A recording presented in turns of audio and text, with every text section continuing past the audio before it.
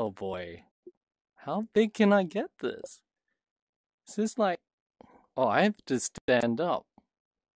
Oh, it looks like I've broken it. This is as big as it can get. This is cinema size right now. That that is like IMAX. IMAX quality. It's huge. Oh, I'm sad that I can't actually make this any bigger.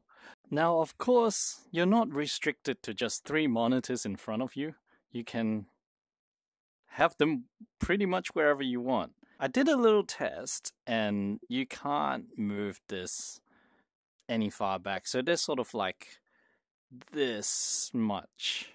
There's a back portion that you cannot alter. That's okay because I don't know anybody who wants to turn around like in the movie. You're getting pretty close though.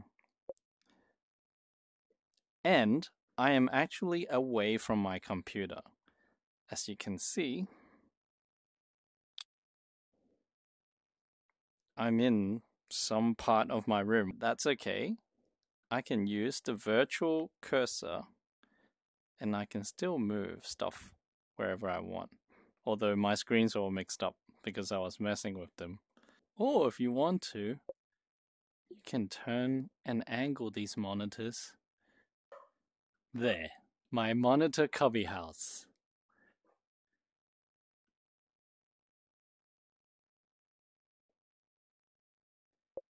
Now let's play with this whiteboard for a bit to see how responsive it is.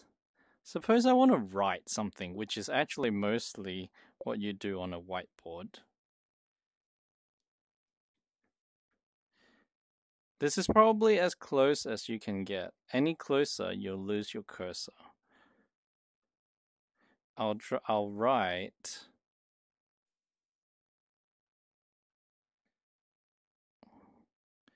So at this distance, the you have to write pretty slow.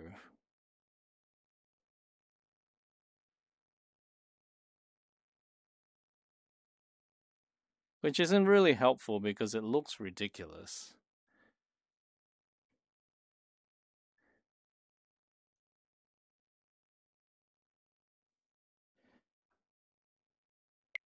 Also, it's hard to move around if you're too close. So let's write while it's further away.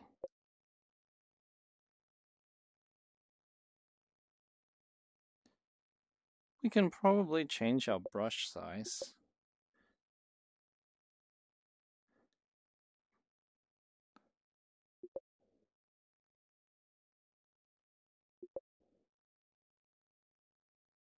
That's probably a bet the best one, the thickest brush size.